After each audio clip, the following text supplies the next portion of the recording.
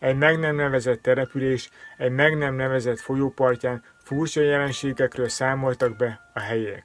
Több szemtanú szerint egy vérszomjas víziszörny rémizgette őket, amely leginkább a Loch Nessi szörnyhez hasonló ősi hüllőre emlékeztetett. Legalábbis Boldizsár ezeket a plegykákat hallotta és mesélte el barátjának, Péternek. Ezért a két férfi úgy döntött, hogy egy csendes szombati napon arra a partszakaszra mennek horgászni. Reménykedtek benne, hogy talán ők is megpillanthatják a rejtélyes lényt. Ha meg nem, akkor sincsen semmi, hiszen megszállott horgászok voltak, így bármikor szívesen mentek pecázni.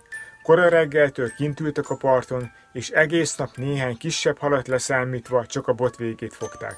Sötétedéskor már éppen hazafelé készülődtek, amikor egy furcsa valamire lettek figyelmesek a parttól körülbelül 10 méterre. Ez a valami egyre jobban kiemelkedett a vízből, és ekkor eléjük tárult egy kihaltnak hit ősi dinoszauruszfaj, a Plesiosaurus. A lény egyre közelebb jött hozzájuk. A férfiak a meredek domboldalon azonban nem tudtak elég gyorsan felszaladni. Boldizsár csak azt látta, hogy a szörny elírja a barátját, és az éles fogai Péter nyakába döfi. Boldizsár pánikolva felért a töltés tetejére, és futásnak eredt. Amikor visszanézett, a szörny éppen visszamerült a folyóba, a barátja pedig vérbe fagyva feküdt a parton. A rémült férfi remegő kézzel elővette a mobilját, hogy segítséget hívjon.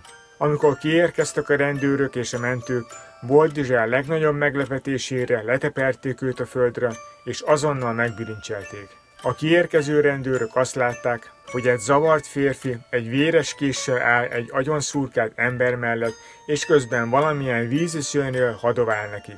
Rögtön letartóztatták.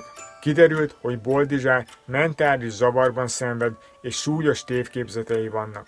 A valóságban senki sem találkozott a folyónál a plesiosaurus-szerű vízilényel, csupán a beteg férfi képzeletet találta ki. A Pétert megölő valójában Boldizsár sötét és zavar énje volt.